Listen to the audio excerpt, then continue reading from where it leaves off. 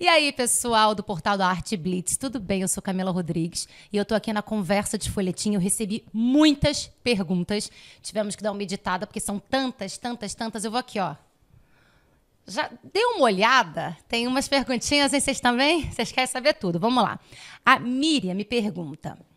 É, bom dia, em primeiro lugar, admiro muito seu trabalho, muito obrigada. Por favor, uma nova novela com Camila e Felipe juntos. Eu não posso falar sobre isso, mas eu só falo uma coisinha. Temos novidades, mas eu não posso contar. Tá, Miriam? Agora, topia.love é um perfil no Insta. Cami, algum comentário sobre a primeira vez de Tofi? Ah, que isso, gente? Eu não posso contar isso pra vocês, não. Vocês precisam assistir.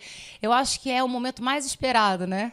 Porque estamos aí essa relação é, Antônio e Sofia. Não posso comentar nada sobre isso. Vanessa Lima. Se tivesse poder de mudar o mundo, o que mudaria? O que eu, nossa, o que eu mudaria? Eu colocaria mais amor nesse país, né? Eu acho que com amor, educação, a gente muda tudo. Mas eu, principalmente se olhar o próximo, como você olha a si mesmo. Se você for mais generoso com as pessoas, né, se colocar no lugar do outro, colocar esse amor, eu acho que tudo seria diferente. Jesus. Cena mais difícil de ser gravada, ela tá um pouco mais pro final. Eu não vou falar especificamente qual que é, mas é uma virada muito grande da Sofia, né? Toda essa alegria da Sofia, essa brincadeira, essa comédia, não vai mais existir assim no final. Claro que depois tem uma grande virada. Então, o que foi muito interessante como atriz foi poder fazer tudo Sabe que é absolutamente tudo? Com a Sofia, eu pude fazer qualquer coisa. Eu pude ir da comédia ao drama, a quase fundo do poço e voltar com tudo. Quais as semelhanças e diferenças entre você, entre eu e Sofia? Vou te falar que chegou um momento que eu acho que não existe diferença e semelhança, porque eu acho que eu sou Sofia e Sofia é Camila. Eu acho que já virou uma coisa só. E a próxima pergunta é esse, é essa. Você tem um jeito brinca brincalhão e divertido de Sofia? Eu acho que foi a primeira personagem que eu consegui colocar muito a minha personalidade, né? Até porque eu estava vindo de produtos bíblicos e que eu tinha que manter uma postura, toda uma forma diferente de falar, um tempo diferenciado. E a Sofia me deu a liberdade de fazer o que eu quisesse fazer. Então coloquei algumas coisas de Camila, até os tiques de Sofia, eu acabei pegando para Camila, aquela coisa de ajeitar o cabelinho e ajeitar a blusa. Eu faço isso na vida, né, hoje em dia. E foi um tique de Sofia. E as brincadeiras em uns tempos diferentes e uma coisa meio ah! uns agudos esquisitos. Isso é de Camila, que foi para Sofia. Amanda Lima. Obrigada, tá, tá falando que eu estou fazendo muito bem. Sofia, te adoro. Qual foi o maior desafio em compor a Sofia? Eu acho que no início é, foram as referências que o Foguinho me deu, né? Que é o nosso diretor, o Rude. É, ele deu muito comédia romântica. Então eu fiquei com isso na cabeça. É, foi muito bom porque eu já achava que tinha que ser para esse lado.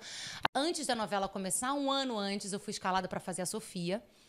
E aí a novela caiu por N motivos e eu continuei estudando os 20 capítulos que eu tinha em casa. Então eu coloquei muito para o universo. Eu quero Sofia, eu quero Sofia. Então eu já tinha uma coisa um pouco. É, não é programada, porque ela nunca foi programada, mas era muito da minha essência já a Sofia. Foi uma coisa muito natural.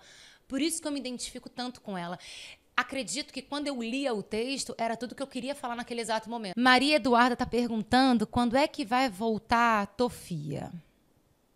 Tá demorando. E eu não tenho a menor ideia. Eu erro o capítulo, gente. Então, quer dizer, como é que eu vou saber? Eu não lembro. Até porque eu não sei se vocês sabem, né? Nós não gravamos em ordem. Então, imagina. Não lembro. Eu falo, hoje vai ter uma conchinha. Erro. Aí as pessoas depois brigam comigo. Eise Lima. Quando teremos Tofi? Acabei de falar. Não sei. Já está perto? Não tenho a menor ideia. Eu gostaria. Juro, eu sinto falta desse casal. Mas eu tô adorando essa sequência da mata, gente. Achei o máximo. Interpretar a Sofia mudou o que na sua vida? Eu fiquei muito mais independente, assim, sabe? É, empoderada. É, a Sofia me trouxe uma força que há um tempo eu não sabia que eu tinha. Como foi contracenar com Guilherme Winter? Vulgo Moisés. Maravilhoso. Ó, tem uma coisa para falar para vocês. Eu tomei um pé na bunda, né? Nefertário toma um pé da bunda de Moisés. Agora, nos tempos atuais, Lima toma um pé na bunda de Sofia. Adoro! É, a gente fala que o mundo é desse tamanho, realmente. Gente, é sempre maravilhoso. É muito bom quando você contracena com alguém que você já tem intimidade, que você já conhece. É muito gostoso. Eu adoro o Guilherme. Guilherme é meu parceiro mesmo. Ficamos quase um ano gravando os Dez Mandamentos, viajamos. Sempre vem com coisas diferentes, com tempos às vezes esquisitos, que eu adoro. E Lima tem uma coisa, não sei se vocês perceberam, ele não para de tocar. Ele fica assim, ó, dá uma irritada aquele negócio, dá uma irritada, é maravilhoso. Porque Sofia se irrita com aquilo. Jéssica, eu sei muito bem quem você é. Você está aqui, ó. Você e Felipe fizeram e fazem uma parceria é, maravilhosa. Nasceram para atuarem juntos. Rolaria uma parceria no teatro também?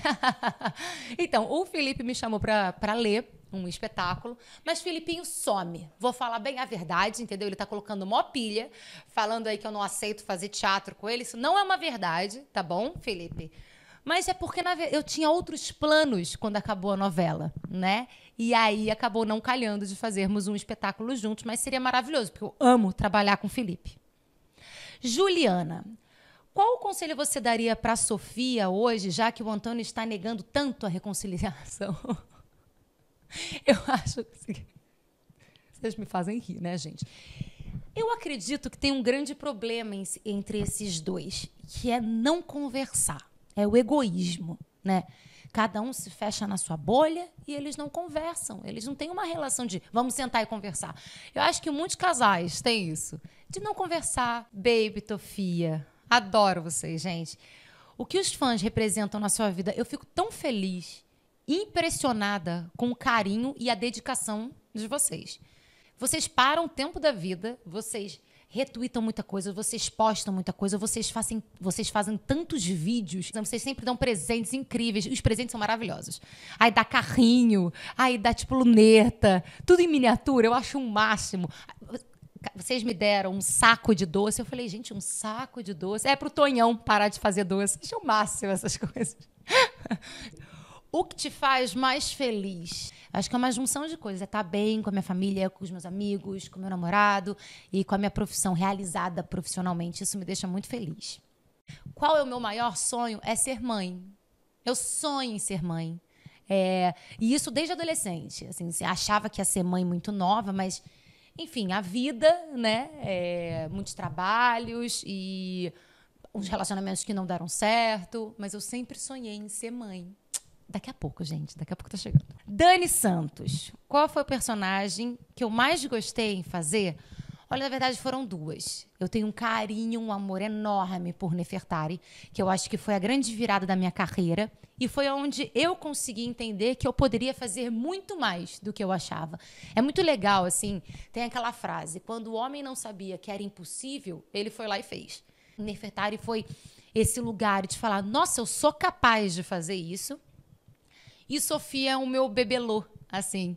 Sofia é o lugar onde é a representação de tudo que eu gostaria de falar naquele exato momento.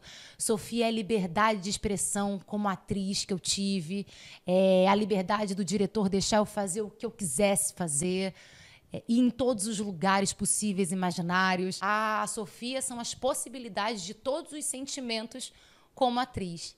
Então eu fiquei, eu fico encantada com Sofia. Então é o amor da minha vida, hum, Sofia. E essa parceria com o Felipe, eu só tenho que agradecer muito.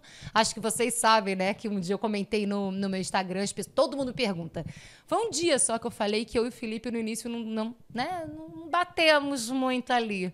Mas é porque é a personalidade mesmo. Eu descobri há pouco tempo que eu sou leão, até então, há 36 anos eu achava que eu era virgem. Explica-se muita coisa. E Felipe também é leão. Então, assim, eu estava num processo o Felipe estava em Jesus e eu já nesse processo, em volta na, na, Sofia, querendo, querendo, querendo. O Felipe num ritmo diferente, e eu querendo estudar, e o Felipe se distanciando de um personagem, vindo para outro. Mas quando aconteceu a química, aí foi maravilhoso. É uma delícia trabalhar com o Felipe. E poderia falar aqui não só do Felipe, mas de todo mundo. Eu sei que é muito clichê a gente falar dos atores e da direção, mas realmente foi um casamento. Casamento que eu falo de de todo mundo, de toda essa equipe. Continue, tem muita coisa para acontecer e eu espero que vocês gostem, o tanto quanto eu gostei de fazer. Um beijo para vocês.